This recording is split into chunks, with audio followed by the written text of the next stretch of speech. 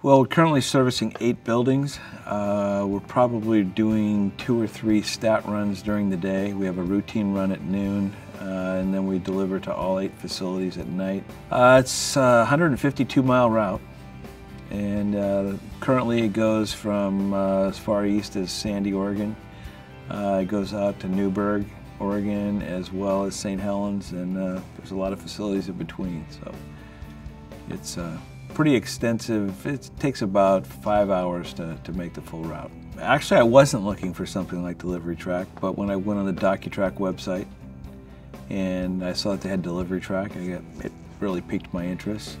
Um, so that's that's why I talked to them about Delivery Track at the same time. The features that are most important to me are uh, capturing the time stamp as far as when it was delivered uh, and who it was delivered to. Those are probably the most important.